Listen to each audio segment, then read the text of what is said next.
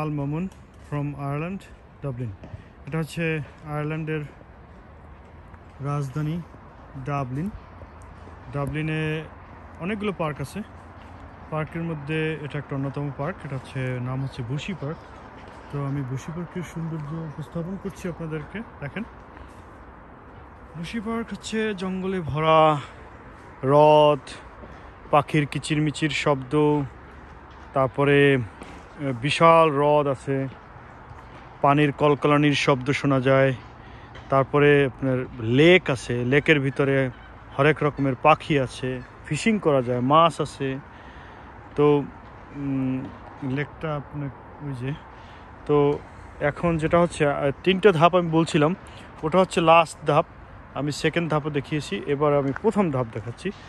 এই প্রথম ধাপে এখানে এই যে বাচ্চারা খেলাধুলা করতেছে এখানে বসার জন্য এই যে পার্ক আছে বেঞ্চ আছে, এরকম হাজারো বেঞ্চ এটার ভিতরে আছে একটার দুইটা না। পুরো পার্কের ভিতরে হাজার হাজার বেঞ্চ আছে, আর এখানে খেলার মাঠ আছে। আমি আগেই বলছিলাম যে একটা আকর্ষণীয়, আপনি দেখেন কত সৌন্দর্য বর্ধিত রঙিন রঙিন কার্পেট বিছানো খেলাধুলার জায়গা। তারপরে আপনার যথেষ্ট হাই কোয়ালিটি যে যাতে মানুষ পুড়ে গেলেও ছিলে ফেলে না যায় বিভিন্ন ধরনের খেলার মত, খেলার জায়গা আছে। ওখানে খেলাধুলা করতেছে। বিভিন্ন ধরনের খেলাধুলা সাইকেলিং করতেছে। এখানে ব্যাডমিন্টনের জন্য একটা দুইটা না, অনেকগুলো কোর্ট আছে। আমার মনে হয় সামান্য কিছু পে করতে হয়। আর এখানে আবার রাগবি ফুটবল টুটবল, এগুলো খেলার জন্য জায়গা আছে। এখানে বসার জন্য জায়গা আছে। আপনার উপরের অংশ তো এখানে একটু গাছপালা কম বা একটু মনে হইতেছে যেন মনে হইতেছে যেন একটু ফাঁকা ফাঁকা। কিন্তু আমি আরও দুইটা ধাপ দেখাইছি। ও- ওটা ছিল ফুল অফ জঙ্গল, একেবারে আফ্রিকার জঙ্গলের মতো। তো এখানেও সৌন্দর্য আসলে কম না।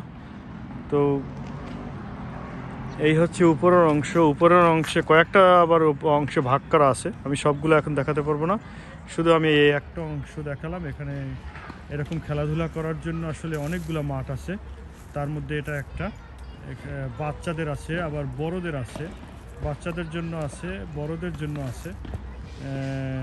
এটা আসলে ইয়ং টিনেজার যারা, তাদের জন্য।